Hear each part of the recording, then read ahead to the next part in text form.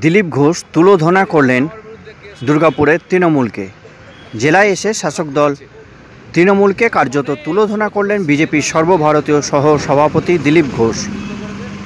দুর্গাপুরের বেনাচিতি বাজারে কাইজার মোড়ে এদিন চায় পে চর্চা অনুষ্ঠানে যোগ দিয়েছিলেন তিনি। সেখান থেকেই তিনি রাজ্যের নানা দুর্নীতি প্রসঙ্গে সরব হয়েছেন। বলেছেন, রাজ্যে নানা রকমের দুর্নীতি চলছে। এমনকি ভুয়ো নিয়োগপত্রও দেওয়া হচ্ছে। পাশাপাশি তিনি কেন্দ্রীয় এজেন্সিগুলির কাছেও আবেদন জানিয়েছেন যে সমস্ত দুর্নীতির অভিযোগ তৃণমূলের বিরুদ্ধে উঠেছে, সেগুলোর যথাযথ তদন্ত করে দোষীদের কঠোর শাস্তি দেওয়া হোক।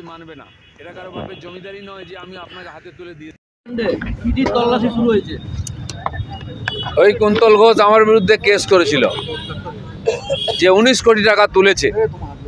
এরকম অনেক ছোট ছোট নেতা নেত্রী আছে যারা টাকা তুলে টিএমসি পার্টিকে সমৃদ্ধ করেছে কালীঘাটে টাকা পাঠিয়েছে।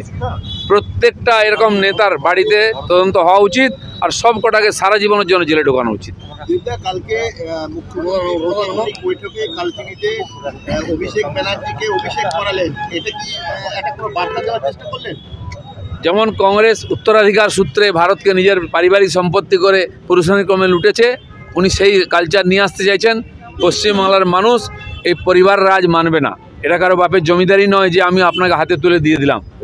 সেই জন্য এই পরিবারবাদ আর এই লুটতারাজের বিরুদ্ধে মানুষ এখানে রায় দেবে সেটা পঞ্চায়েত কর্পোরেশন থেকে শুরু হবে। তাকে ধরা হয়েছিল তৃণমূলের আমলে। এগারো বছর পর আদালত মুক্তি দিল। দেখুন এটার উদ্দেশ্য হচ্ছে যারা প্রতিবাদ করবে এদের লুটের বিরুদ্ধে বলবে অন্যায়ের বিরুদ্ধে তাদেরকে কি করা হবে এটা তার উদাহরণ। আমরা যেমন জমিতে ধান খেয়ে গেলে এটা কাক মেরে ঝুলিয়ে দিই যাতে কোনো পাখি না আসে। ঠিক সেরকম গণতন্ত্র প্রেমী মানুষ যারা প্রতিবাদী মানুষ তাদেরকে ভয় দেখাবার জন্য অমিবিকেশ বাবু থেকে আরম্ভ করে আমাদেরও শতাধিক কার্যকর্তা জেলে আছেন তারা সোশ্যাল মিডিয়ায় প্রতিবাদ করেছিলেন বলে। কোর্ট আজকে রায় দিয়েছে গণতন্ত্রের পক্ষে। আমার মনে হয় সরকারের শিক্ষা নেওয়া উচিত। এই ধরনের অন্যায় অত্যাচার সাধারণ মানুষের উপরে যেন না হয়। মুখ্যমন্ত্রী কালকে বলেছে যে হাইকোর্টে যে আহ, গন্ডগোল সেটা চিফ জাস্টিস দেখবেন আর বেঙ্গলের বার কাউন্সিল দেখবেন। দিল্লি বার কাউন্সিল কেন এখানে আসবে? এটা কি ভারতবর্ষের বাইরে নাকি? উনি কি এটা বাংলাদেশ বানিয়ে ফেলেছেন? কি ভেবেছেন? সুপ্রিম কোর্টও আসবে সিবিআইও আসবে এনআইএ আসবে ইডি আসবে, সবাই আসবে।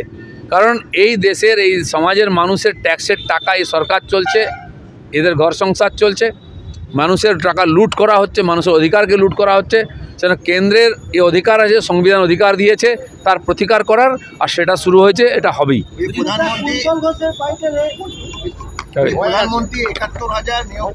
আপনারা জানেন একবার ইন্ডোর স্টেডিয়ামে মমতা ব্যানার্জি সবাইকে সার্টিফিকেট দিয়েছেন চাকরির। চাকরি নয় ভুয়ো সার্টিফিকেট।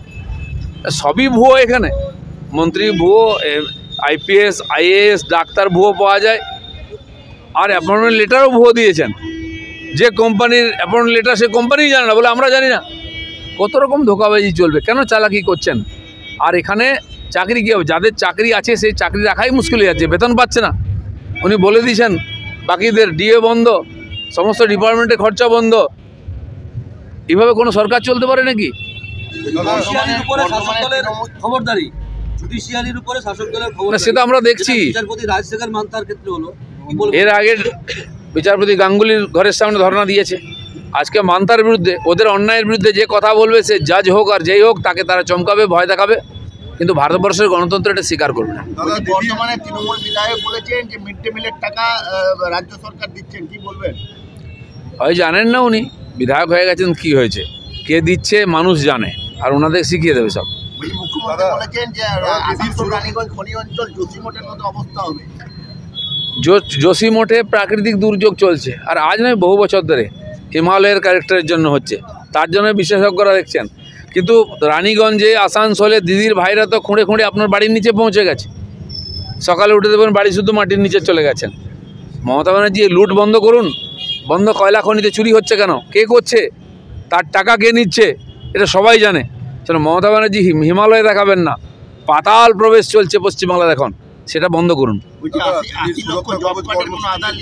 হাওড়ার ডোমজুরের যে থানার যে পুলিশ আউটপোস্ট এখানে দেখা গেল যে তৃণমূল বিধায়ককে কল্যাণ ঘোষকে বৈঠক করতে পুলিশ আউটপোস্টের ভেতর। তিনি বলছেন যাতে করে আইন শৃঙ্খলা নিয়ন্ত্রণে থাকে সেই জন্যই তারা হ্যাঁ টিএমসির নেতাদেরকে মানুষ বাড়িতে ঢুকিয়ে দিয়েছে এটা বোঝা যাচ্ছে। থানায় গিয়ে আশ্রয় নিতে হচ্ছে। হিম্মত থাকলে আসুন যাদের ভোট চেয়েছিলেন তাদের সামনা করুন। পালিয়ে যাচ্ছেন কেন? সবই তো শুরু এবার বেঁধে বেঁধে রেখে দেবে গাছে। দিলীপ আশি লক্ষ জব কার্ডের কোনো আধার লিঙ্ক নেই। এদিকে একটা বড় স্ক্যাম আরও। সব জায়গায় স্ক্যাম এই জব কার্ডের সব টাকা টিএমসির নেতারা খেত। যার নামে জব কার্ড সে জানেই না। তার কাছে তো আধার কার্ড আছে, সে নম্বর বলে, তার সে জানে না হবে কি করে। তো বছরের বছর এদের টাকা লুট হয়েছে। সবচেয়ে বেশি টাকা একশো দিনের জন্য কেন্দ্র সরকার এখানে দেয়।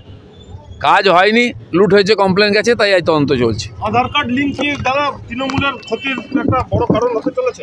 Aadhaar card link Aadhaar card link করতেই হবে।